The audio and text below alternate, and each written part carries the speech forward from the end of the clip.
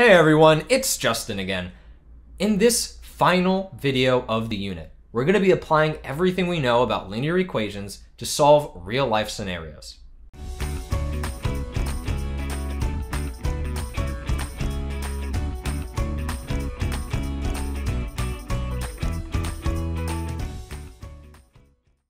First up, a city is surveyed and it is found that 250 more people are getting U phones every year. Five years later, 7,000 people in the city have U phones. How many had U phones when the survey was conducted? To solve this problem, first we need to identify the information we have. If 250 more people get U phones every year, that's a recurring increase. So 250 people per year is a slope. Five years after the survey, we know how many people had U phones. This is two connected values at a single time, so that's a point. With a slope and a point, it's easiest to set up an equation in point-slope form. The question that was asked of us is how many had U phones when the survey was conducted? In other words, zero years after. It wants the y-intercept. This means all we have to do is plug in 0 for x and then find what y equals. 0 minus 5 is negative 5 times 250 is negative 1250.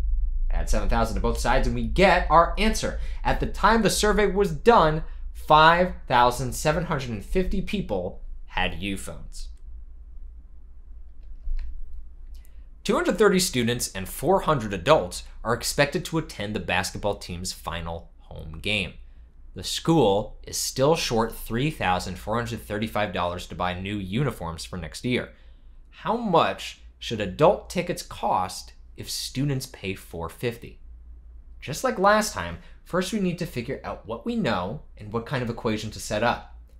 We know how much the school needs, so the amount of money they bring in has to be that much. We know the money from student tickets will be 230 times whatever a student ticket costs. And the money from adult tickets will be 400 times whatever the adult tickets cost. So we've got our equation, which is in standard form. A quick rule of thumb. When a word problem has two amounts of different things adding to make a total amount, like this basketball ticket problem, the equation will usually be in standard form. You will see lots of problems like this in the next unit. All right, back to the problem. So now that we've got an equation, what are we trying to figure out? How much should adult tickets cost if students pay 450? In our equation, we said that the cost of adult tickets is y, and that the cost of a student ticket is x. So what we're really being asked here is to plug in 450 for x and just solve for y.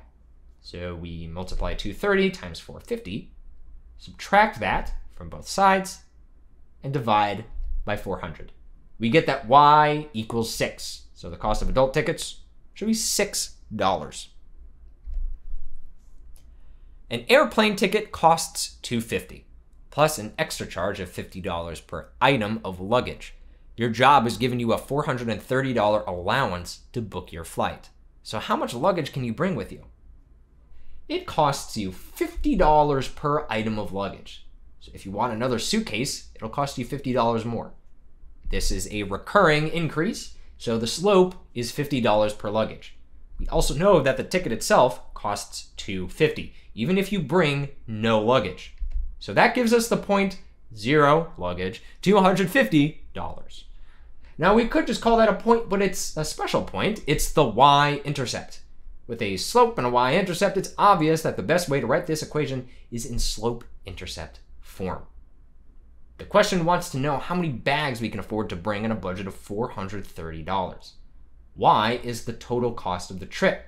So I'll plug in 430 for Y. Now we just solve for X, or how many bags we can bring, by subtracting 250, then dividing by 50.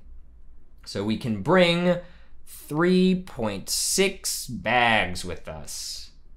Huh. What does 3.6 bags mean? Are we going to only fill a bag three fifths of the way? That wouldn't work. That would still count as a whole bag. So this answer doesn't work because it doesn't make sense. So let's rethink it. Our amount of luggage has to be a whole number, but we can't afford more than 3.6 items. So 4 is impossible, which means that our limit is 3 items of luggage. That 0.6 we took off just means that we aren't using all the allotted money. If you plug in 3 for X, you'll see that it will only cost 400, putting us $30 below the budget. Word problems come in all different varieties, and knowing how to condense the information into an equation makes the problem so much easier to solve. In the next unit, we're going to be taking a look at what happens when we put multiple equations together into a single problem. Hey, hey.